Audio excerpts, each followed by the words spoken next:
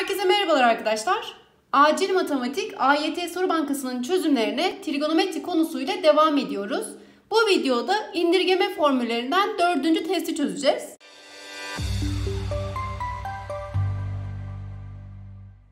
İlk soruda yukarıdaki ifadelerden hangileri doğrudur demiş.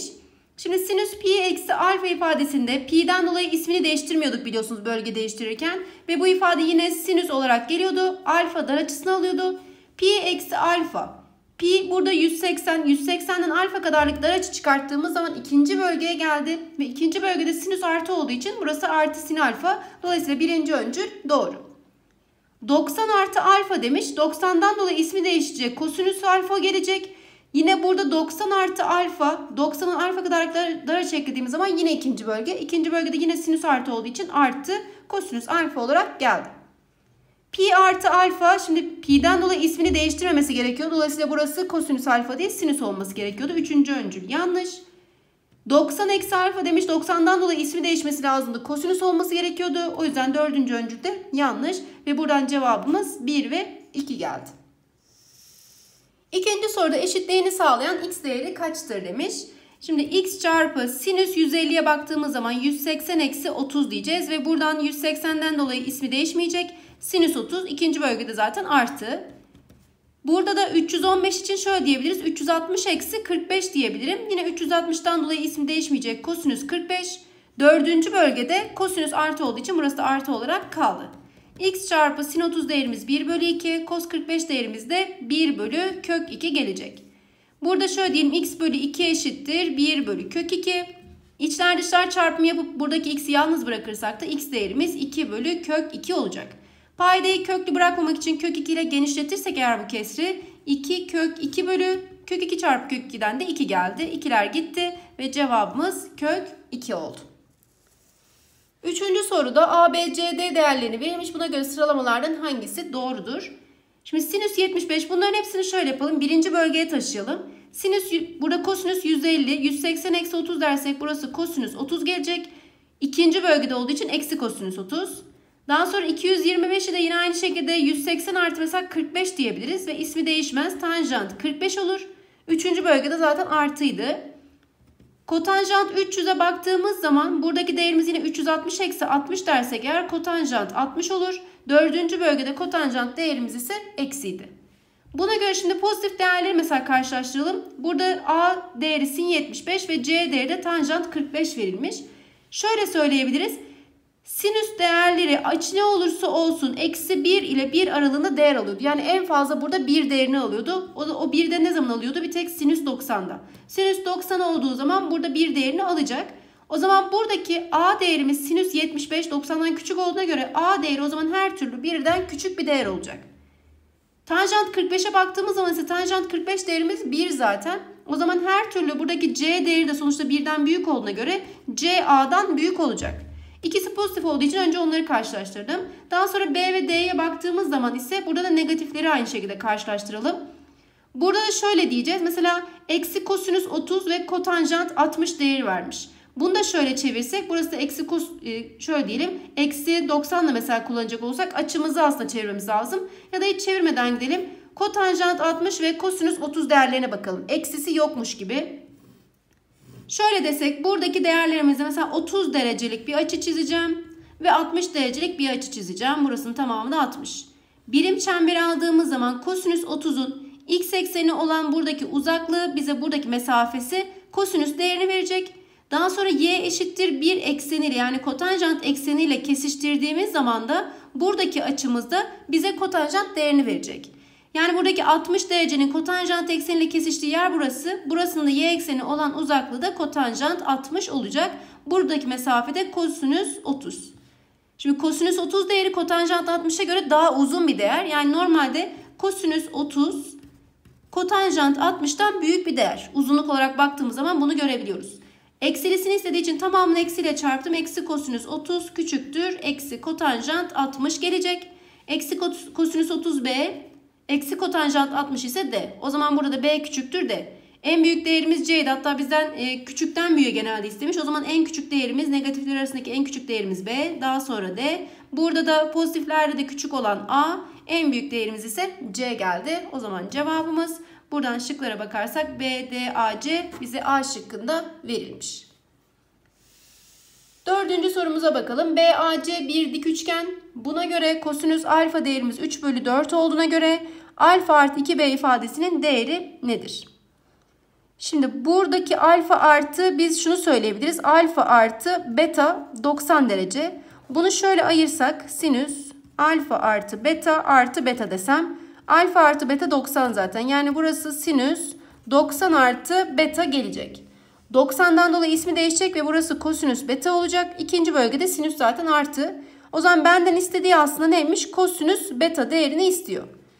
Şimdi kosinüs alfayı vermiş bize. Kosinüs alfayı yerleştirirsek komşu bölü burada e, hipotenüs diyeceğim. Buradaki değerlerimiz için mesela burada oran olacağı için 3a'ya 4a dersem komşusu 3a hipotenüs uzunluğu ise 4a.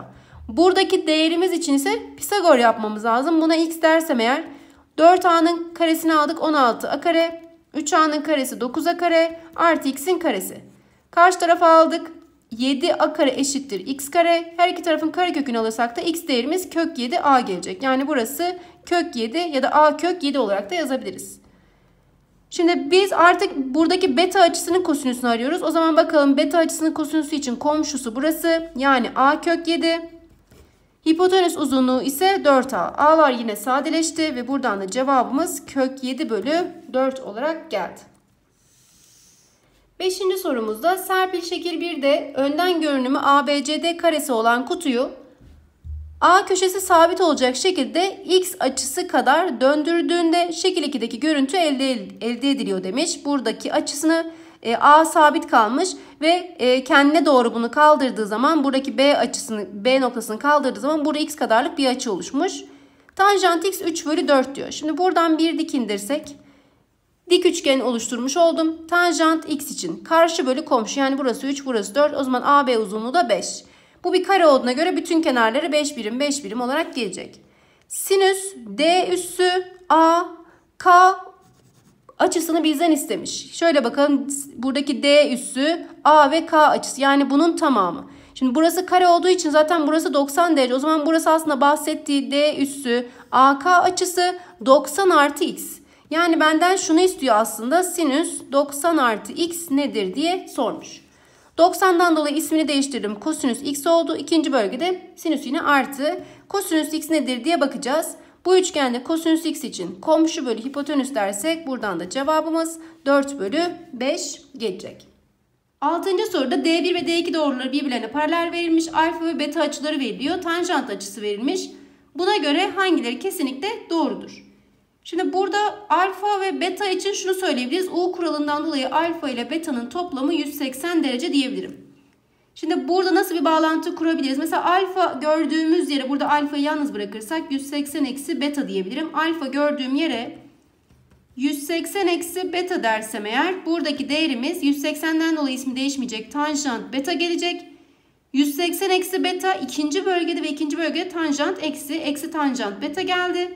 Tanjant alfa değeri eksi 2 olduğuna göre bu da zaten alfaydı. Bu ifade eksi 2'ye eşit. Dolayısıyla buradan tanjant beta değerimiz de 2 gelmiş oldu. Şimdi bize kotanjant beta değerinin 0,5 olduğunu vermiş. Tanjant beta değerimiz 2 bölü 1 ise kotanjant bunun tam tersiydi biliyorsunuz. Kotanjant beta da 1 bölü 2 eşit. Yani 0,5'e eşit olduğu burada doğru. Alfa artı beta demiş 0 eşit. Şimdi alfa artı beta'nın ne olduğunu biliyoruz. Biz 180 derece olduğunu biliyoruz. Tanjant 180 derece 0 mı ona bakalım.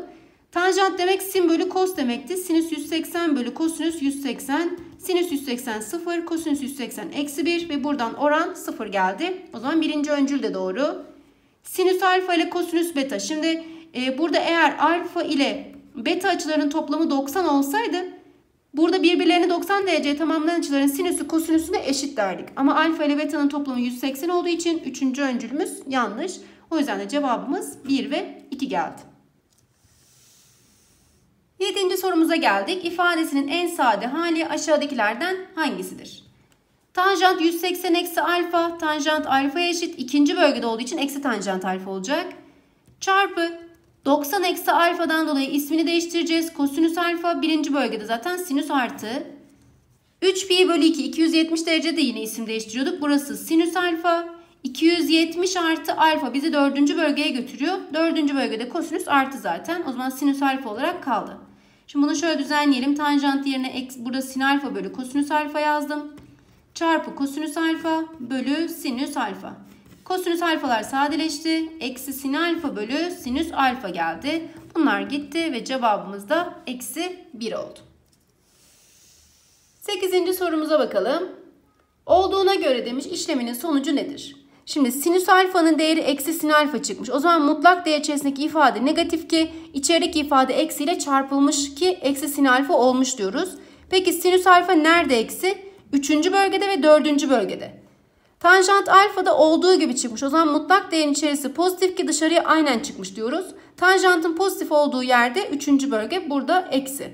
O zaman biz bölgemizi ortak olan bölge üçüncü bölge olduğu için burada alacağız. Kosinüs alfa değeri. Şimdi kosinüs alfa normalde 3. bölgede negatif ama mutlak değerden dolayı cevabı pozitif çıkmış.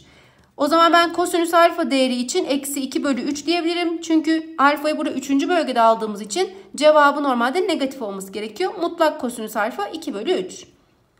Buna göre sekant buradaki değerleri bulalım. Sekant dediğimiz değer neydi? 1 bölü kosinüs alfa artı kök 5 çarpı kotanjant alfa da kosinüs alfa bölü sinüs alfa. Hatta bunu yine kotanjant alfa olarak bıraksak daha kolay olacak. Kosinüs alfa şimdi 1 bölü kosinüs alfa ben yerine yazarsam kosinüsü 1 bölü eksi 2 bölü 3 geldi. Artı kök 5 çarpı kotanjant alfa. Kotanjant alfayı bulmak için de burada dik üçgen çizersek eğer alfa açısını da burada çizdik. Alfa açısının kosinüsüne baktığım zaman komşu bölü hipotenüs. Yani burada 2 bölü 3. Negatifliğini tabii ki burada uzunlukta yazmıyoruz. 2 ve 3 geldi. Buradan da e, Pisagor yaptığımız zaman da buradaki değerimizde kök 5 geldi. Şimdi kotanjant alfaya baktığımız zaman komşu bölü karşı yani 2 bölü kök 5. Kotanjant 3. bölgede artı olduğu için burası da artı olarak 2 bölü kök 5'i artı olarak aldık. Kök 5'ler sadeleşti. Burası ters döndüğü zaman eksi 3 bölü 2 artı 2 geldi. Buradan da cevabımız 1 bölü 2 oldu. Dokuzuncu sorumuza geldik. Denkleminde demiş n değeri kaçtır? Şimdi n çarpı sinüs 170'i 180 eksi 10 diye yazabilirim. Ve buradan da sinüs 10 gelir. İkinci bölgede zaten artı. Artı 2n çarpı 350 de 360 eksi 10 diyebiliriz. Yine sinüs 10 gelir. Dördüncü bölgede olduğu için sadece eksi sinüs 10 olur. Eşittir 3 çarpı burasına yine aynı şekilde 360 eksi 10 dersek eğer sinüs 10 gelir. Dördüncü bölgede olduğu için yine eksi geldi. Artı sinüs 10. Düzenlersek buradaki değerleri şöyle gelecek. n çarpı sinüs 10. Eksisi var burada şöyle yazalım. Eksi 2n çarpı sinüs 10 geldi. Burada eksi 3 sinüs 10 artı sinüs 10. Topladığımız zaman bunları direkt sinüs n sinüs 10 parantezine alırsak n eksi 2n'den burada eksi n gelecek. Eksi n çarpı sinüs 10. Burada da eksi 2 tane sinüs 10 geldi. Sin onlar sadeleşti. Eksen eksi 2 eşit olduğuna göre n değerimiz de 2 geldi. 10. soruda bir gıda şirketi 2018 yılında Ocak ayından itibaren hangi ayda kaç TL yaptığını zamana bağlı bir fonksiyon şeklinde ifade etmiş. Nisan ayındaki karı 50.000 TL verilmiş. O zaman Nisan burada 4. ay olduğuna göre T yerine 4 alacağım. Yani F4 değerimiz A çarpı kosinüs pi bölü 3 vermiş. Yani buradan e, şöyle yazalım 60 artı 90 T artı B değerimiz ki T değerini de biliyoruz burada. 4. ay dediğim için 90 çarpı 4 geldi. Ve bu ifade 50 bine eşitmiş. Şimdi buradan 90 çarpı 4'ten 360 gelecek. 360 artı 60 dersek de 420. Yani A çarpı kosinüs 420 artı B değerimiz 50.000 TL'ye eşit. 420'nin esas ölçüsünü aldığımız zaman da buradaki değerimiz direkt 60 olacak. Yani burası aslında kosinüs 60'a eşit. Kosinüs 60 değerimiz de 1 bölü 2. O zaman A çarpı 1 bölü 2 artı B değeri 50 bine eşit oldu. Bu ifadeyi şöyle yazalım. Burası A bölü 2 artı B değeri 50 bin geldi. Aynı şekilde Haziran ayında da 30 bin TL demiş. Yani T6 olduğunda da 30'a 30 bine eşit olacak. F6 değerimize bakalım. A çarpı kosinüs. Burası 60 artı pi bölü 2 çarpı 6 diyeceğiz. Artı B değerimiz. Daha sonra burası 30 bine eşit olacak. Pi bölü 2 şeklinde bıraktım ki sadeleşmek daha kolay olsun. Buradan 3 pi gelecek. 3 pi'nin esas ölçüsünü direkt alabiliriz. 3 pi'nin esas ölçüsü pi'dir. Yani 180 artı 60. O da nedir? 180 artı 60'tan 240 gelecek. A çarpı kosinüs 240 artı B 30 bine eşit oldu. 240'ı da 180 artı burada zaten 60'tan da aslında çevirmesek de olur. 180 artı 60 aslında. Dolayısıyla direkt 180'den dolayı bu ifadenin ismi değişmeyecek. Ve kosinüs 60 olarak gelecek. Sadece ikinci pardon hatta üçüncü bölgede olduğu için eksi olacak. Yani a çarpı eksi a çarpı kosinüs 60 artı b değeri 30 bine eşit. Kosinüs 60 yine 1 bölü 2 olduğu için burası şöyle geldi. Eksi a bölü 2 artı b eşittir 30 bin oldu. Taraf tarafı toplarsak a bölü 2'ler gitti. Buradan 2b eşittir 80 bin. B değerimiz de buradan 40 bin geldi. Aralık ayındaki karı sormuş. O zaman bizim a değerini bulmamız lazım. Yerine yazarsak b yerine 40 bin yazarsak a bölü 2 10 bin. Dolayısıyla a değerimiz de buradan 20 bin olacak. Şimdi bu ifadede yerine yazdığımız zaman Aralık ayı yani 12. ayı soruyor bize. Şöyle diyeceğim. A yerine 20 bin yazdık. Hatta ona direkt 20 yazalım. Sıfırlarını şimdilik yazmayalım. Kosinüs buradaki t yerine 12 yazacağım Aralık ayından dolayı. Burası 6 pi olacak. 6 pi'nin esas ölçüsü zaten direkt 0. Geriye sadece pi bölü 3 yani 60 kaldı. Kosinüs 60 artı b. B değerini de aslında biliyoruz. Onun yerine de direkt 40 yani 40 bin yazmış olacağım. Burası 20 çarpı kosinüs 60 1 bölü 2 artı 40. 20 bölü 2'den 10 geldi. 10 artı 40'tan da 50 yani 50 bin TL olarak karını bulmuş olacağız. 11. soruda aşağıdaki şekilde D doğrusu yarıçapı 1 bölü 4 birim olan soldaki çember yayını x1 birim ve x2 birimlik iki parçaya parçaya yarıçapı kök 3 bölü 2 birim olan sağdaki daire ise S1 birim kare ve S2 birim kare alanını iki parçaya bölmüş. Buna göre sinüs x1 bölü kosinüs x2 tanjant s1 bölü kotanjant s2 toplamı kaçtır? Şimdi burada e, şöyle söyleyebiliriz. Mesela yarı çapının buradaki d doğrusunun yarı çapı 1, 1, 1 bölü 4 birim verilmiş. Ve biz bunların çevresine bakacak olursak 2 pi çarpı r dersem çevresi olacak ve çevresinde x1 artı x2 birim olarak gelecek. Toplam yayın uzunluğu. R de 1 bölü 4 olduğuna göre 2 pi çarpı 1 bölü 4 yani burası pi bölü 2 x1 ile x2'nin toplamı o zaman 90 derece olacak. Şöyle diyebiliriz direkt x1 ve x2 birbirlerini 90 dereceye tamamlayan açıların sinüsü kosinüsüne eşitti. O zaman ben sinüs x1 bölü buradaki kosinüs x2 yerine de yine sinüs x1 yazabilirim. Çünkü birbirlerini 90 dereceye tamamladılar. Dolayısıyla bunların oranından 1 geldi. Aynı şekilde buraya da bakalım. Burada da alandan bahsediyor. Dairenin alanı içinde pi r kare değerimiz de s1 artı s2 olacak. Yarı çapını burada kök 3 bölü 2 vermiş. Karesini aldığımız zaman pi çarpı 3 bölü 2 geldi. S1 artı S2. Yani burası 3 pi bölü 2 270 dereceye eşit. S1 artı S2 değerimiz 270 dereceye eşit oldu. Ve buradaki ifade de yine sinüs ve pardon tanjant ve kotanjant değerleri için şöyle diyebiliriz. Bir tanesini yerine mesela S2'yi çeksek burada S2 değerimiz 270 eksi S1 gelecek. Yerine yazalım. Tanjant S1 bölü burası kotanjant S2 yerine 270 eksi S1 yazacağım. Burası zaten 1'di. Buradan yine aynı şekilde tanjant S1. Burada 270'ten dolayı kotanjantın ismi değişecek. Tanjant S1 olacak. 270 eksi burada bir dar açıdan bahsediyoruz. Üçüncü bölge. Üçüncü bölgede kotanjant artı zaten. Dolayısıyla burası da tanjant S1 olarak geldi. Bunlar da aynı olduğu için sadeleşti. Burası da 1. 1 artı 1'den de cevabımız 2 geldi. 12. soruda B bir gerçek sayıdır demiş. Buna göre fx fonksiyonun grafiği için aşağıdakilerden hangisi doğrudur? Grafik x ekseni negatif absisli iki farklı noktada keser demiş. Şimdi burada e, şöyle söyleyelim x ekseninin negatif absisli iki farklı noktada kesmesi için kollarda bu arada parabolün burada x karenin katsayısı pozitif olduğu için kollar da yukarıya doğru olacak ve bu şekilde kesmesi gerekiyor.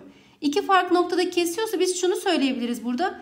Bu ifadenin yani bu fx fonksiyonun diskriminantını aldığımız zaman sıfırdan büyük olmalı ki iki farklı noktada kessin. O zaman biz bunların diskriminantını kontrol edelim. Fonksiyonumuz fx eşittir x kare artı bx artı buradaki değerimizde de 8 pi bölü 7 için bunun e, esas ölçüsünü alsak burada esas ölçüsü gerçi buradaki değerimiz 0 ile 360 derece arasında. 8 pi bölü 7 olarak alacağım o zaman burasını. Kosinüs 8 pi bölü 7 olarak geldi. Diskriminantına bakalım. B kare diyorduk yani x karenin katsayısı. Eksi 4 çarpı a değeri x karenin karesi çarpı c. Kosinüs 8 pi bölü 7.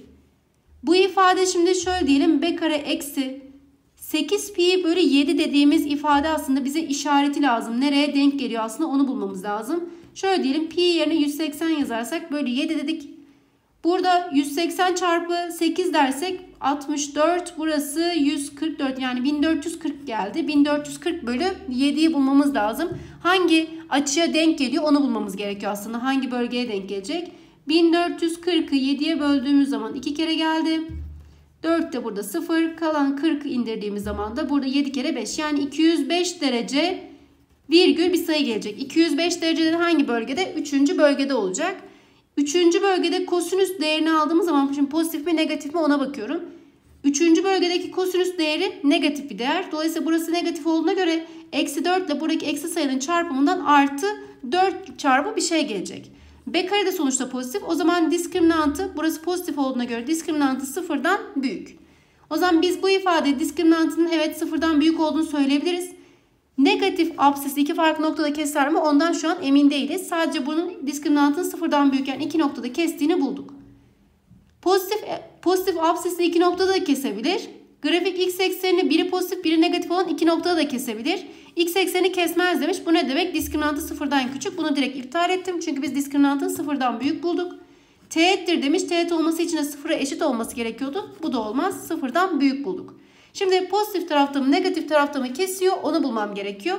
Bunun için de kökler mesela biri burada olup biri bu tarafta da olabilir. Bunu da bize aslında şu verecek. Köklerimizden biri x1 biri x2 olduğu zaman x1 çarpı x2 değeri mesela ikisi de eğer pozitif taraftaysa çarpımları pozitif olur.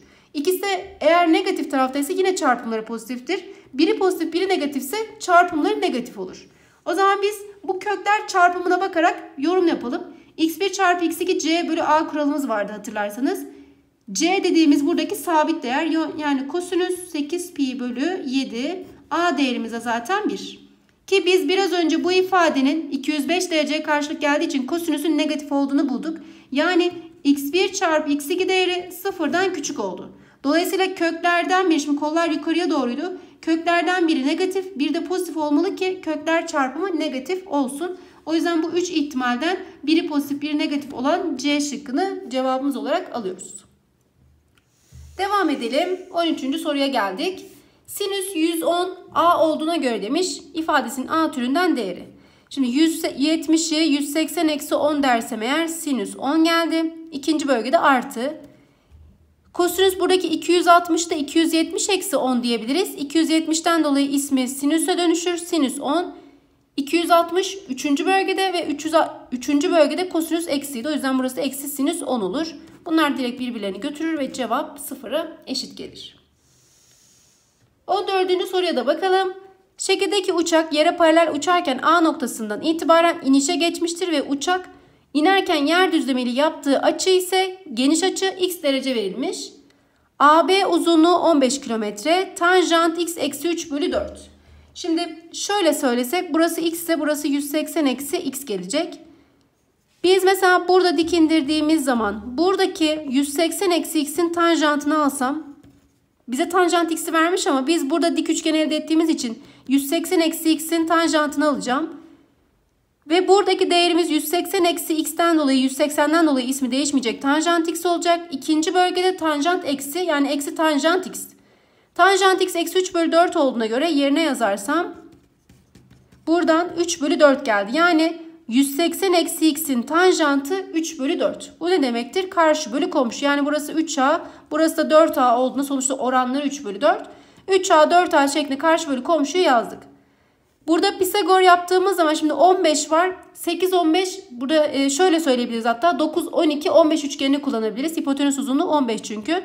Dolayısıyla o zaman burası 9 olur. Burası 12 olur. Burası da 15 olur. 3'e mesela A'yı 3 dediğimiz zaman 3 çarpı 3'ten 9. A'yı 3 dedik 4 çarpı 3'ten 12. Bunu isterseniz Pisagor'dan tabii ki bulabilirdiniz. Pratik olarak 9, 15, 9 12, 15 üçgenini sağlıyor mu sağlamıyor mu ona baktım. A direkt 3 olduğunu zaten sağladı. O yüzden burası 9 kilometre burası 12 kilometre geldi. Uçak A noktasından iken yerden yüksekliği kaç kilometredir demiş. Direkt bize bunu sorduğu için cevabımız da 9 geldi. Evet böylece dördüncü testi de tamamlamış olduk arkadaşlar. Bir sonraki testimizde görüşmek dileğiyle. Herkese iyi çalışmalar diliyorum. Hoşçakalın.